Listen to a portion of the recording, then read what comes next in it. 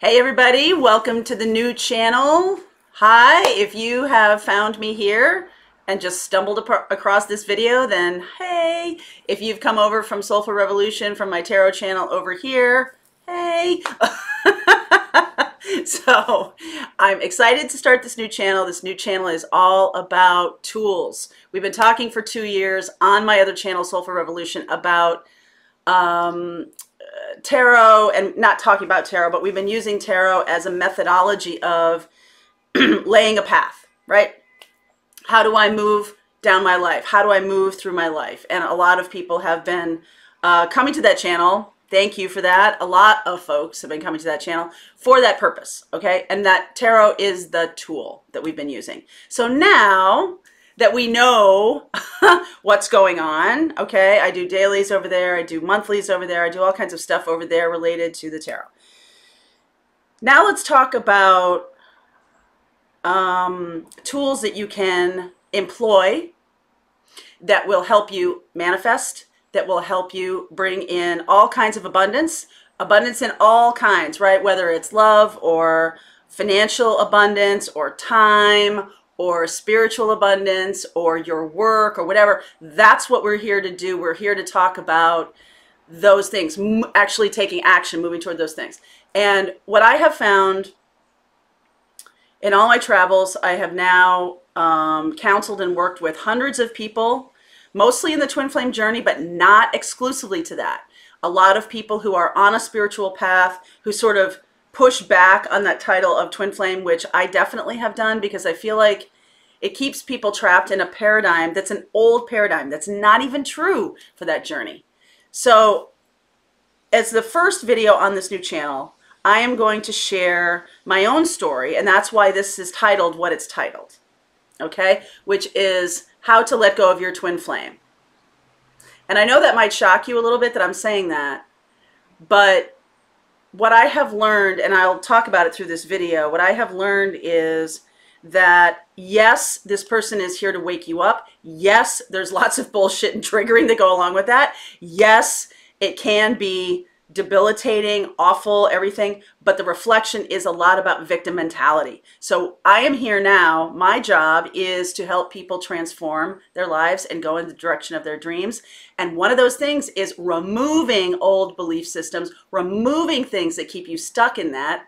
And if twin flame is keeping you stuck, then it's time to remove that. You see what I'm saying? So it doesn't mean that you're not going to have um, relationship in your life Okay. I think people feel like they're confused about manifesting. So that's why we're going to iron that out in this channel over the course of the next however long. Okay. Um, that's what this channel is dedicated to. So let me share with you just a little bit of my story so you know where I'm coming from. If you're brand new to this channel, hi, my name is Mary Jo. Hello. thanks for liking. Thanks for subscribing. Thanks for sharing. All of those things. Because this is about building community for me. And it is about helping people go in the direction of their dreams, right? How does that, what does that look like? Probably a little more allowing, a little more spiritual than you might think. So, my story is uh, in 2008, here comes Ellie, Ellie the kitty cat. Every time I'm talking about this, she shows up. She's a guide. Um, so in 2008, in Maine, um, I am married. I am a, a, client services director, senior director, whatever, I forget whatever the title was, for um, a large marketing agency. I have a cute little house in Maine. Um, I have a husband who's a lovely human being, right? Looks good. From the outside, looks great, okay? Um, so in the course of 2008, I first, um, probably one thing you should know, put a pin in this, is that in 1997, before I met my husband, my then husband, I started to learn tarot. I started to learn astrology. I had always been a fan of astrology and numerology ever since I was a kid. I was always interested in that.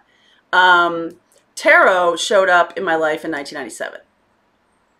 I had a lovely teacher, wonderful teacher. She also lives here in Maine. And all through that time, all through that 10 years of being married and everything, I was working with it, right? I was working with that. I was, you know, sort of trying to see my way outside of my own little box that I had created for myself. And admittedly, a nice looking box. and so in 2008, I had uh, a friend of mine who talked, who did a lot of uh, work around astrology and numerology. She was really, really cool. Is still really cool. And we started to sort of unravel some things. Like, you know, I wasn't happy in what I was doing. I felt like a fake. I felt like I was in this path, in that path, and it wasn't real for me. And I was like, how can this not be real for me? This is what this is what I think I'm supposed to be doing. And she was like, aha, this is what you think you're supposed to be doing? Who told you that? And so we started to unravel some of that stuff.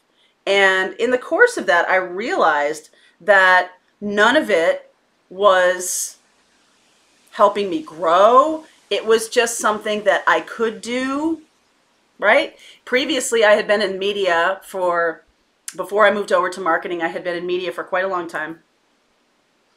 And that was a, a, great experience for me and also a negative experience for me. I, I got out of media because I told a joke one day and it was a really dark joke and everybody looked at me and they were like, you might need to take a break.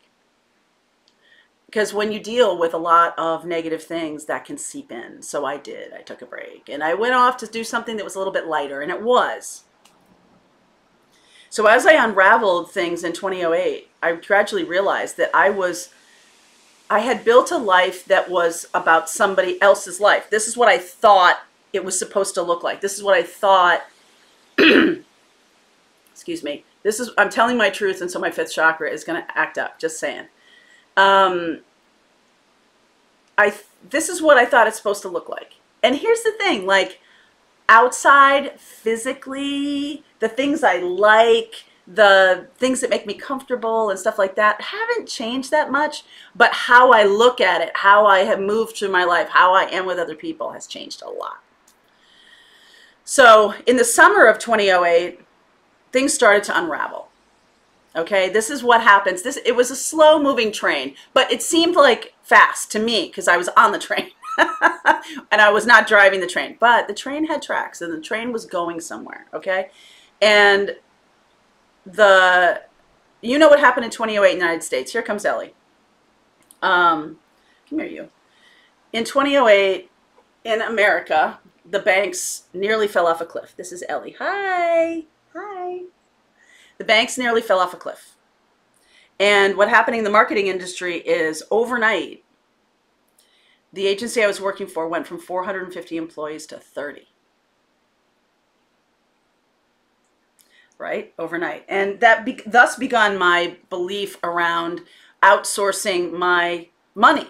Right? I'm outsourcing my money to people who will hack me off without a second thought. And it's nothing personal, right? This is business. This is what they needed to do. But for me, it is personal because I got to pay my mortgage and I got to do my stuff. So that was one thing, right? Put a pin in that. It was just about that whole idea of outsourcing my um, financial well being. Also, outsourcing my happiness to other things outside of me. I was noticing I was doing that. So at the time that that was unraveling, the marriage was also unraveling because it was not truly it, in who I am, in who I uh, am here to be. Here you go. And I remember watching a Red Sox game uh, with my husband and a neighbor who came over like every freaking night for dinner for five years. And then they would stay and watch the game, and I would go up to bed around three o'clock or something like that. Stop it. You're, you're just being a pest right now. And I was laying in bed, it was like nine o'clock, and I was like, I, yeah, I could do this for the rest of my life. And my brain went, Are you out of your fucking mind? so I remember that moment of like the thing that was inside the box, and then the true self out here going, Are you out of your mind? Okay? So thus began the process of unraveling that marriage. And I'm going to move this. Seriously, she's really. And so as that unraveled, I left. Took my dog Stella, who was a wonderful girl who passed away in um, 2015, December. And I left. And within a couple of months of sort of detoxing from that whole thing, I met, um, I reconnected with my twin. Now, in 1997, remember I said 1997 is when I started learning tarot. 1997 was also when I met my twin. The person, the personage of the energy of the twin, okay? And I met him. And then, fast forward to 2008, um, a friend of mine said, Hey, you know who's getting divorced also right now? Who got married at the same month you did and they're getting divorced in the same month you are? We'll call him Michael. And I was like, oh, okay, because we always had a great rapport. He was getting married, I was getting married at the same time. So there was really this like, I'm happy to be on my path, but that's really weird that I'm having this connection with you, right? Because I'm at the time you're getting married, you're like kind of like super duper happy about it. Most people are. And um, not everybody, most people. And so I did. I reconnected with him. I joined Facebook for the first time, like a lot of people my age in 2008. And I reached out and I found him. He was my first friend on Facebook. And I was like, oh my God. So we had a great time talking and whatever. And um, we started dating. And one of our first dates, this was probably a couple of dates in. This was not the first date. This was a couple of dates in. and um, took me to the beach. This was August. And took see how fast this is unraveling. The the layoff happened in summer, early summer. It's August now, end of August, and he, he took me to the beach right before Labor Day, I think. And we sat on a beach for eight hours and told each other our stories just told stories back and forth, back and forth, back and forth. And it was a very um, intimate experience to be able to share a lot of the things that I'd been holding in for the past 10 years. So all of that happened and lots of intimacy followed that which were explosively passionate and beyond whatever I ever experienced previously you want this plant, don't you? And so I just was like, oh, this is it. This is my person. This is my soulmate. And within four weeks, so we had like four weeks of that experience. And then one day, end of end of September, we were supposed to just, you know, go to dinner or something. It wasn't any big deal. It was not like a and I'm not a tremendously like uh, I don't do a lot of like lovey-dovey stuff. I like to have fun. I like that, you know. So I was like, I don't understand. So anyway, he's here to pick me up for dinner, and he's like, "Come here. I want to. I want to ask you a question." And so we sat down, and he said, "Are you feeling?" And then he stopped, and he said, I can't do this anymore.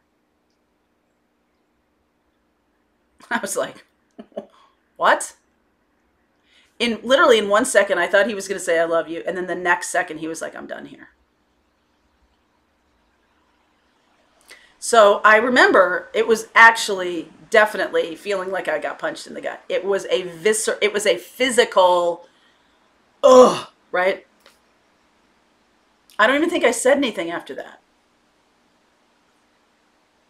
No, I did. I, I asked, I said, um, back up for a second. When you said, are you feeling, what did you want to say? And he was like, he's like, no, I can't, I can't go there. And he said, look, he said, let's talk in a couple of days. And he got up and he left. He was there 10 minutes. 10 minutes. Devastated. Absolutely leveled. Okay? So, for the next couple of days, I was in a vortex. I was in not a not a good one, not the not the Abraham Hicks vortex. It was a void. No, it's not a vortex. It was a void. I was in a void.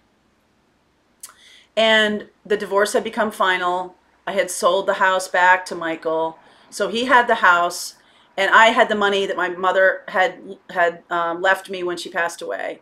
And so I didn't. I wasn't really working because everything was sort of collapsing, right? So I wasn't really working. I was just being, just being. And I was that way until December. He never reached out again to talk. I tried. I tried. And he blocked me. Boom, boom, boom, boom, boom, boom, every single way. And I found myself driving in a car down to see him because I was like, I have to see you. I have to get an under. It was a mental under. I need an understanding of why you, you did what you did. But there was also this like tremendous um, connection. There was the heart chakra awakening, there was the kundalini, there was all of that stuff. And then bam, the door just closed. And I was in a void. I was literally in like a, um, a chamber where they take away all of your senses, this deprivation chamber. And I was in a car driving down to see him and about 10 minutes before I got to his house, I pulled over and I was like, nope. Mm-mm. He's pushing back so hard on you seeing him. Do not do this. Okay? Do not do this. You're going to regret this. So, there's a dragonfly in here now. oh my God. So, I stopped myself and at the end of December, when everything was final with the house and with the divorce and everything, I had just been living with a friend. And, you know, in a, a room in her house, and she had rented that to me. And I said, I gotta go. I gotta get out of here. Because I feel I felt stuck in that vortex of the energy. So I left and I went back to where I grew up in Connecticut, and my best friend of 50 years lives there. And we had, you know, um, a lovely time sort of unfolding. And then I met up with a narcissistic partner, and that was a disaster.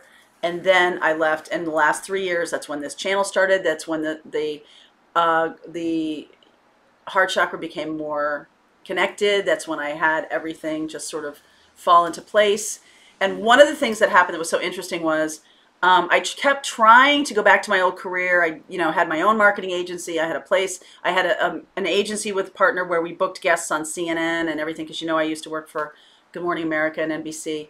And it just wanted to go.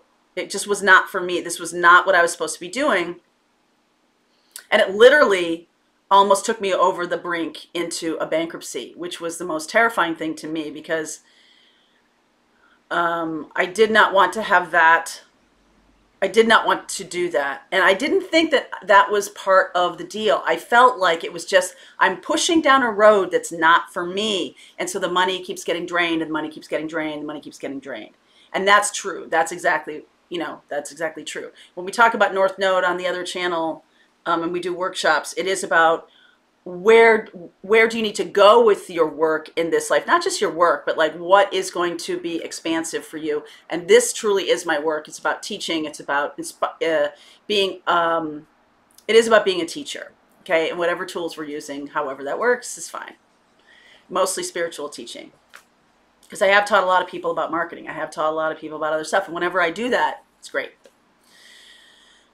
So that whole scary thing about the money um, I found myself a really wonderful attorney, Kara, who um, was very nonplussed by the whole thing, unlike my family, who was like, ah, right? But my my but Kara was more, hey, I'll take care of this stuff. You take care of that stuff. It's all gonna be good for the next three months. Just pay your rent, pay your pay the bills you need to keep everything moving, your health insurance and stuff and um, I'll take care of all this other stuff, you know, business business stuff and everything. And it just freed me because I was literally getting to the place where I could not call another client. I could not do the work. I was literally ground to a halt, like a car without an oil change. I was like, ugh.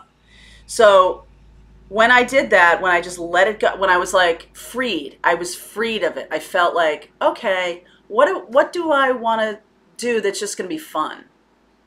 And the last job I had was I was doing video. Uh, I was doing a lot of video marketing. Um, obviously, I had a bunch of crews, video crews and stuff, and I would go to clients and I would get them on camera talking, and I would get them talking, and they trusted me. So when I was asking them questions, they were looking at me and they could open up, and that was a very important gift I have to help clients open up on camera because not everybody can do it. And I went to Dallas to do a workshop or to do a, a conference. I did video for like six companies at once. I was like, so exhausted. It just drained me. Okay, that's how you know something's not for you if it really drains you. You also need to learn to protect your energy, which we will talk about on this channel. So, draining, draining, draining. I'm in Dallas airport zooming around on YouTube and I see this guy doing tarot. And it brings back to mind 1997 and the astrology and the tarot and everything. And I'm like, that's what I'm going to do. Looks fun. It's something I love to do. And every time I do a reading for people, they're always like, wow, that was great.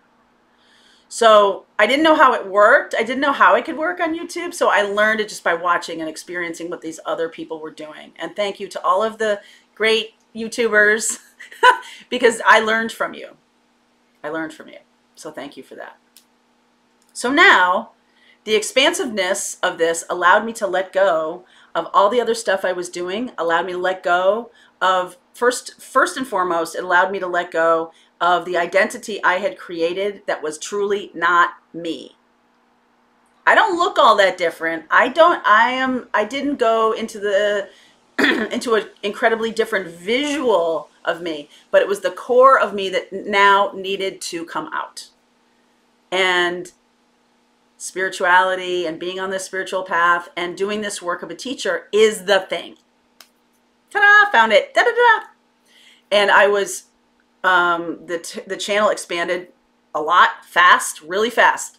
In 2018 and 2019, I am reaching more and more people. Social media and other stuff is expanding things. It's all good. So my point in telling you all this, first of all, I wanted to share that story. And thank you for listening. I appreciate it. Because I think there's some stuff in there that could help other people. And one of the things that I want to share with you about letting go is it's really about your belief system. That's why you're stuck in this twin flame. Um, it's got to be that one person. I've done a video on the other channel about twin flame is not a person, it's an energy. That shift in awareness lets people release from narcissistic partners. Oh, it's my twin flame, though. I got to stay. It's really unhealthy and it's really a bad situation, but it's my twin flame.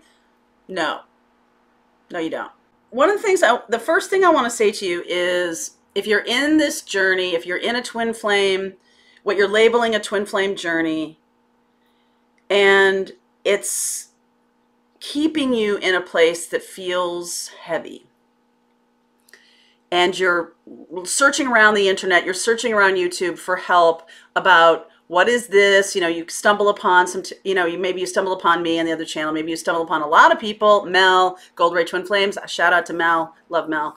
Um, and there's, you know, lots of information out there what I have learned, I'm expressing to you what I have learned, my own experience, my own um, expression of the twin flame journey, my own particular thing. 10 years on now, okay, 10 years on, I see a lot from the experience when I was inside the void, inside this spinning tornado. Like it's hard to kind of see, you know, what you need to see. So, my number one recommendation to you is meditation slash mindfulness.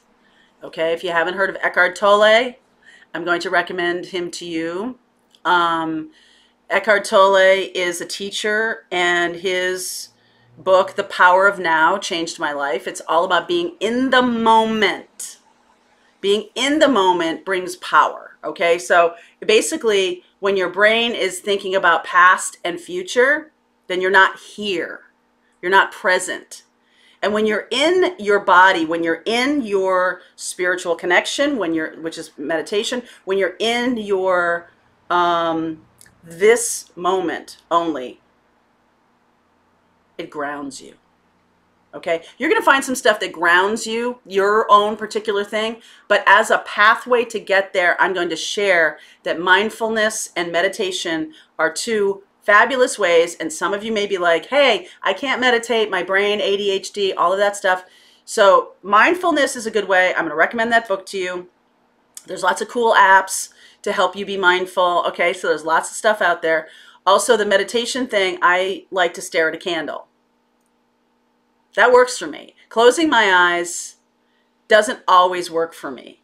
And mostly because my, you know, when I'm in this expansiveness about doing this work and everything, what happens is whoosh, I get a rush of new ideas and things. And that's all great. I'm not shutting that off. Don't shut that off.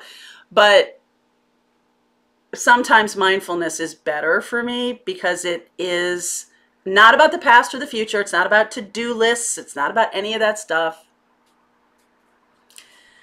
It is about being in the moment only. Okay? So there is, let's see, one some of the things I just want to go through. I have a little list here of some of the things that keep people stuck, and maybe you'll see yourself in here, and maybe this will help you to understand that it's a mindset that you're keeping stuck in. You're stuck. There here's number one mindset that keeps you stuck. There is no one else for me. This twin flame is the ultimate love relationship, and I can't leave it because that's what I really want in my life. So why am I not going toward that? That's what I should be doing. There's a lot to unpack there. First of all, when you get into, when you experience a twin flame connection, let's just call it high vibration, let's just call it a spiritual awakening, let's call it opening up, let's call it, you know, heart chakra awakening, kundalini rising, let's call all of that experience. When you experience that, these lower chakras all get fused together. You don't have to go back and do the work of that. All right. So if you're going back to do the work of root chakra, how come money's not flowing? How come abundance in all ways isn't flowing? Whatever. Then you're sort of resisting twin flame journey or you're resisting the spiritual path because you're going back down to do stuff that's already fused together. If you start to align, if you feel like, oh, I've got to do root chakra stuff, it's resistance because part of the spiritual journey, the reason for the spiritual journey is to move forward, is to get in a new path of new paradigms, new things, opening up new templates, stuff like that. And by going back, especially looking to the past, especially, you know, things that happened in the past, right? Dwelling on that stuff, dwelly, right? That's resistance. That's all resistance. That's where mindfulness and meditation can help keep you out of that. So if you if you are this is the one thing I'm here to do in this life is to be in a be in a 3D relationship with this person. I want to get married and have dogs and kids and cars and boats and all that stuff. You're missing the point. Because that's not what that person is here for. There are people who are married to their twin flames. But here's the here's the paradigm shifting idea and I did a video on this a long time ago, not a long time ago, a couple months ago. Twin flame is not a person, it's an energy. Okay? So, my own twin flame experience, that person was unable to uh, be with me in relationship, a 3D relationship, for his own reasons. Okay? A lot of times that twin flame is very unconscious until they're not. Okay? You have done some opening of them too. If you don't think you have, you have. All right? But if your focus is on a 3D relationship, you're going to get stuck because that's not the reason you're here to open up. That's not the reason. You're here to inspire other people. You're here to be a teacher. You're an empath, all of this stuff. You're one of the first uh, of the latest wave of people waking up to all of this. So the reason I'm saying letting go of twin flame is I'm le- letting go of your belief system around what twin flame is is a big part of letting go of this whole thing. If you have, you know, you can come across people in the energy of that with you who have problems with narcissism, addictions, all of this kind of stuff. Okay? But when you open up to the twin flame journey, when you open up to the spiritual path, what is happening is you're getting a new template imprinted on you.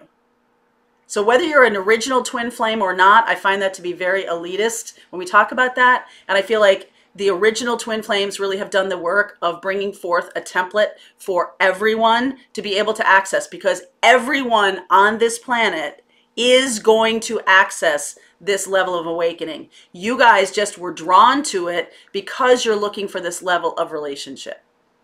That's why you're drawn to a spiritual awakening because I liken it to God's bait. I think this is the way that that the universe said, "Hey, what's the thing that people may really want that are going that is going to bring them down this path?" Now, if we told them, "Hey, come be on a spiritual path," a lot of these people would be like, "Are you out of your mind? I don't even know what that is." But if you're drawn into this relationship that opens you up, that's expansive, that you feel what is possible, then you're like, yes, I want to walk this path. It's like person who's a vegan, right? If they go around saying, be a vegan, be a vegan, be a vegan, everyone's like, ew, I don't want to do that. but if this person lives a lifestyle and they look good, they feel good, they're open, they're, you know, other people will say to them, what are you doing? That makes you, that look at you, look at how different you are, look at how like open you are, look at how amazing you look, or whatever it is they will be inspired by that. So it's not about pushing ideas on people. It's about inspiring people to be their best self, to be walk on path, walk on this spiritual path, to walk down this road, to open up to ideas that are beyond what we see, feel, touch, taste, okay? Beyond that. Because what we're doing is we're imprinting a new template. Okay? We are opening up to a new way of being in relationship. And a lot of it is not going to be 3D because that's not where it's at. This is the matrix, okay? This is you've heard a lot of teachers on YouTube talk about this. This is not this is a, a expression. This is an expression. So, if you're stuck in the idea that twin flame has got to be this person and we're going to get married and we're going to do this the way the 20th century that template I I encourage you to let go or work on letting go of what it was because it's so limiting. Keeps you small, right? People get smaller. And the new thing bigger. Okay? So being open to that, being open to the idea, and then being open to the idea that twin flame is not a person, it's an energy. Because, all right, so there's this movie, um, what was that movie? John Goodman, Denzel Washington. I can't remember the name of it, but it was really cool premise that evil. This is and what I'm talking about is the opposite premise because duality, evil, good, you know, all that stuff is eradicated in this new new way of being. But in this movie, the premise was that evil or the devil or whatever whatever, you know, 20th century paradigm you want to put on it was an energy and it jumped from person to person through touch. And so whatever the the devil wanted to do, whatever the energy wanted to do, wanted to accomplish, it would find a host.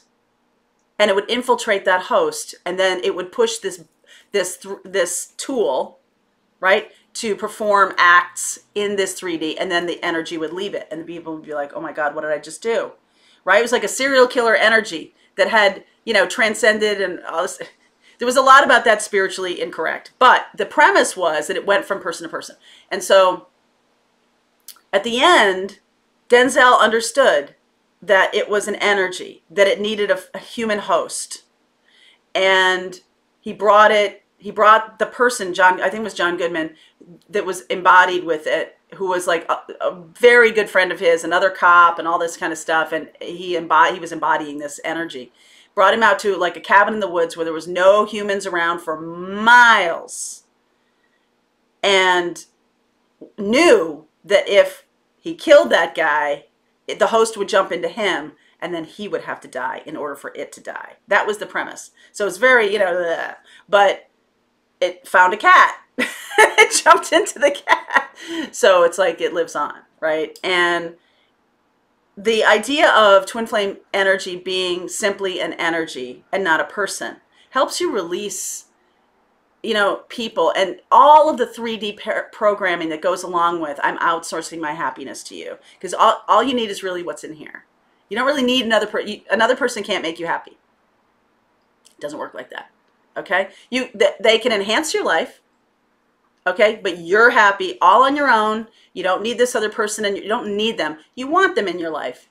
They enhance your life and all of that good stuff. There's nothing wrong with that okay but the idea that you need this other person and with twin flame i feel like it gets expanded on. I feel like it be, almost becomes victim mentality.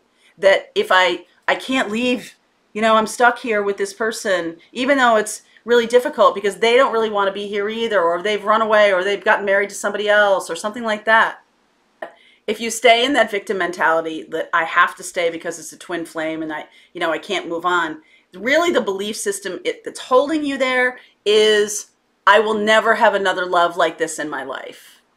And so I'm willing to put up with all this bullshit because of that belief that there's only one, that this is the one, one, one, one, one. What I have learned is Twin flame is an energy, not a person. And so what that means is people can access that template and you can have that high vibration love. Okay. So I, ha- in the course of me doing readings for the last, I don't know, at least two years, um, I've come across a, quite a number of people who've had experiences with the same twin flame intensity for same sex for other women, um, straight, you know, they're straight, they're married or whatever, and they don't understand why they're having this. And it has always been confusing to me too. And I'm like, what is this talking? What does this mean? I don't understand it. What this means to me is it's a breakthrough to help all of us understand that it's truly about a heart connection and that we're going to have these connections with a lot of people. Eventually, we're all going to see that this is how we're connected through this heart. The heart chakra awakening, opening, is the thing that is really the connective experience. Okay? So they're having this heart chakra awakening they're being triggered by a person there's some reason that that person is triggering them or or they're having this awakening with them it's individual to each journey but once you have it okay once you have this opening once you have this experience you can have it again there's going to be other people so if you're staying in an unhealthy situation because, well, it's my twin flame. There's nothing I can really do about it. Or stuck and not having anybody in your life. Like, I'm never going to have another relationship because that was my twin flame and that's how this has got to work. What I'm here to tell you is that's a waste of time because you are going to have that. You are going to be in that experience because you are in now, you are templated with this twin flame energy, with this high level of expression.